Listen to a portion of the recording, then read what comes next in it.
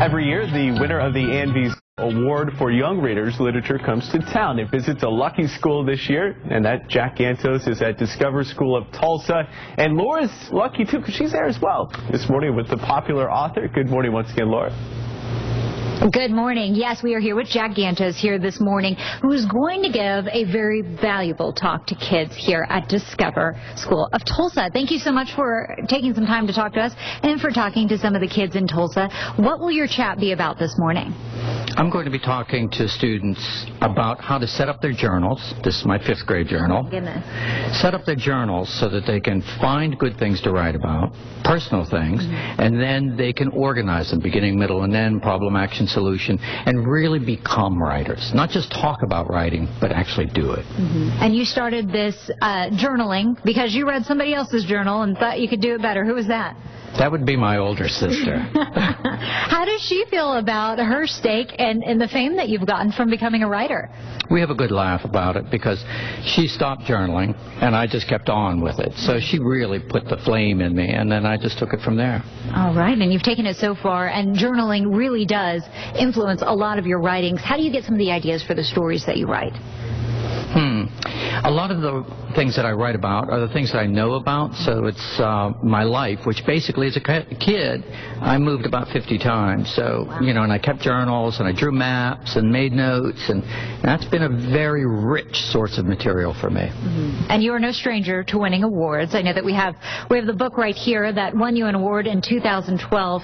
Which award was that? That was the Newbery Award, which is for the uh, highest contribution to children's literature in the country, and uh, the Scott O'Dell Award for historic fiction in the same year. So you've got two gold coins on this one, and you've won awards for other books that you've written. What was the other book that you wrote that won an award?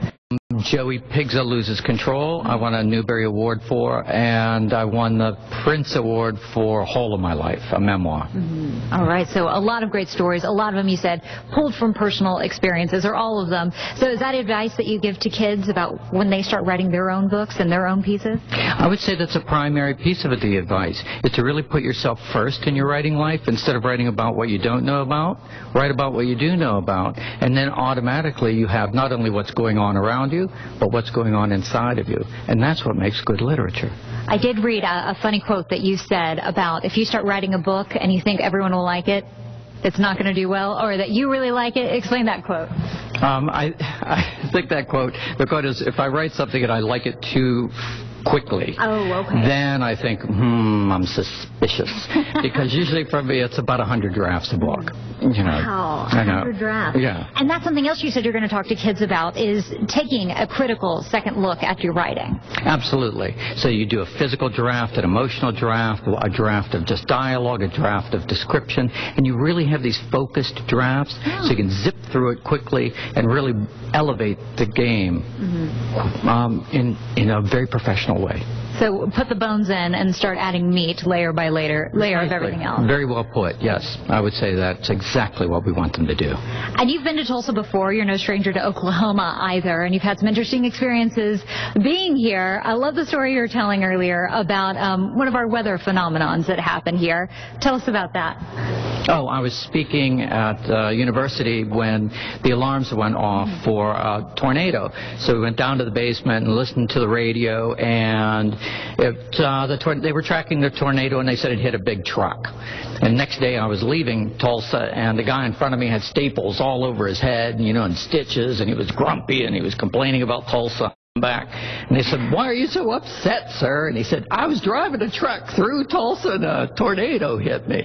And I thought, oh, how wonderful. It's such a beautiful little story. It just captures everything. It came all the way around. Maybe one day we'll see that in another one of your writings. And you don't just write for children, which is what you've won a lot of the awards for. We showed some of your books a moment ago that are children based. You do have a couple of uh, adult books as well. Yes, I do. I write uh, novels for adults, novels for young adults, uh, middle grade, and elementary. All right. Well, we can't wait to start picking those up. We appreciate it and look forward to you winning this award tonight. What does it mean to you to, to receive the Anne Zarrow? It's a, it's a great honor to receive it, and it's a, an honor for several reasons, but certainly one of the radiant reasons is that, yes, I was chosen, but beyond that, people then read your book, and, and then it radiates within them individually. And I think that's really what the award ultimately does. It, you know, it's like I'm there's one fire, but then there are many fires. You know, mm-hmm. the people really get involved in reading it, and then that award goes inside of them because the literature goes inside of them, and that's the biggest reward for me. Absolutely, and beautifully put. Thank you so much, and thank you for talking to our kids here in Tulsa on your visit. And I know, Mike, you have all the information about where the award will be given later today. Well, that's right, Laura. Thank you so much. Of course, Jack Gantos, 2004 Anne V. Zarrow Award winner tonight, 7 p.m., Connors Cove.